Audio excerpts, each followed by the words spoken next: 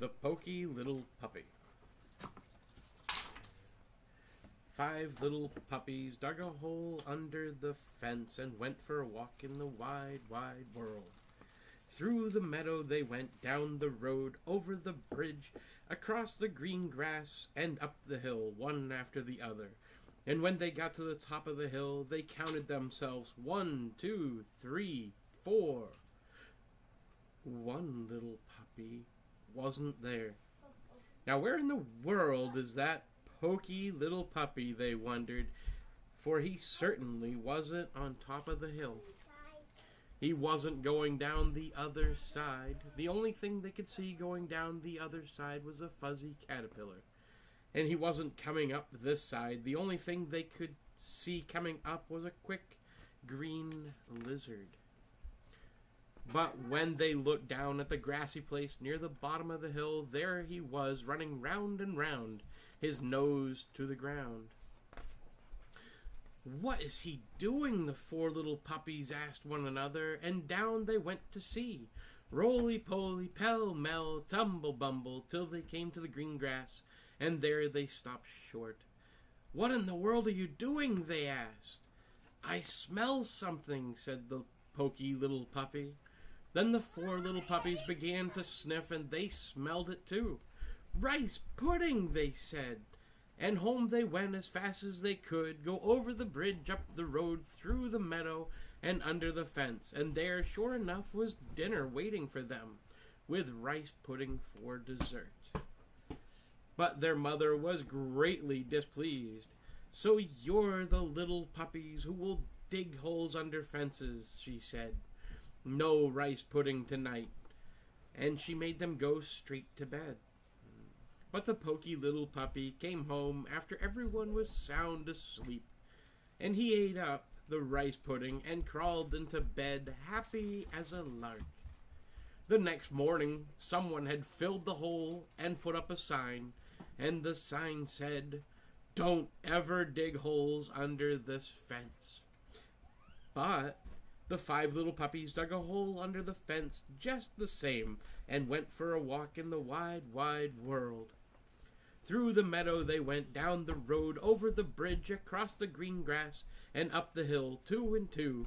And when they got to the top of the hill, they counted themselves one, two, three, four. One little puppy wasn't there. Now, where in the world is that poky little puppy, they wondered, for he certainly wasn't on top of the hill. He wasn't going down the other side. The only thing they could see going down was a big black spider. Mm.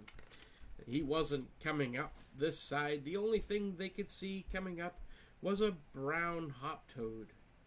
Hot But toad. when they looked down at the grassy place near the bottom of the hill, there was the poky little puppy sitting still as stone, with his no head to the one side and his ears cocked up.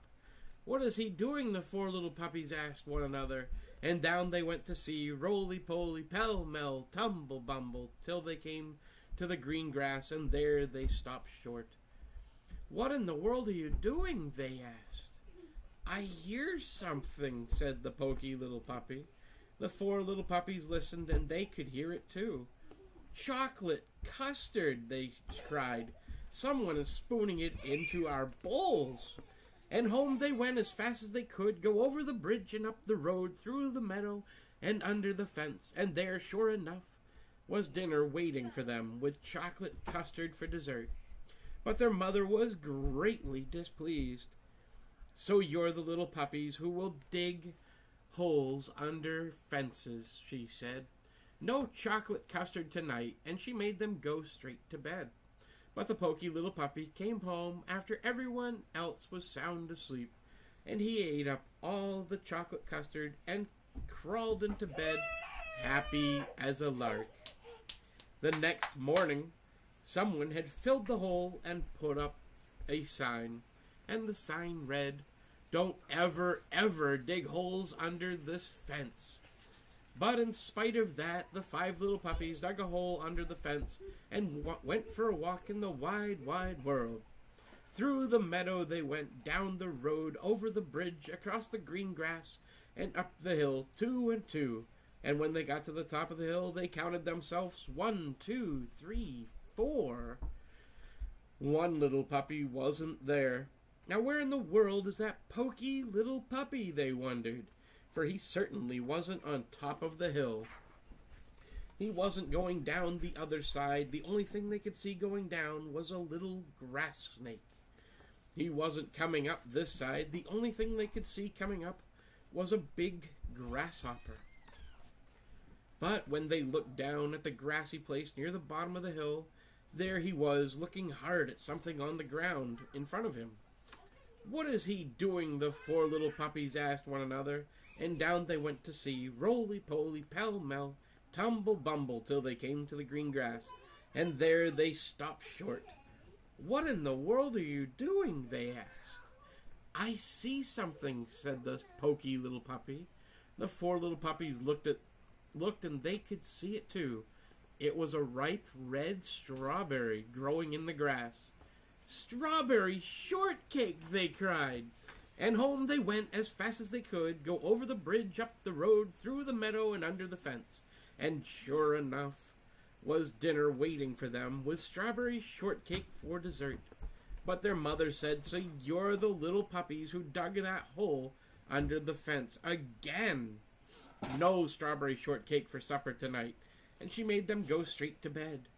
But the four little puppies waited till they thought she was asleep, and went, and then they slipped outside and filled up the hole.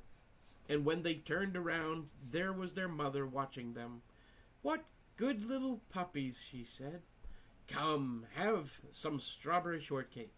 And this time, when the poky little puppy got home, he had to squeeze in through a wide place in the fence.